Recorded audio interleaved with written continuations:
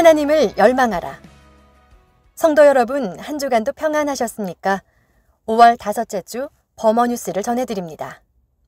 수성노회 주관 찬양 경연대회가 있었습니다. 수성노회 찬양 경연대회가 온라인으로 진행됐으며 우리 교회에서 1등 3명, 2등 2명, 3등 3명, 장려상 5명이 수상했습니다.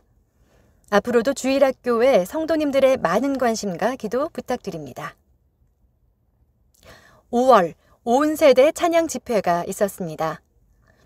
매월 마지막 금요 기도회는 온 가족, 온 성도가 함께하여 가지는 금요 집회입니다.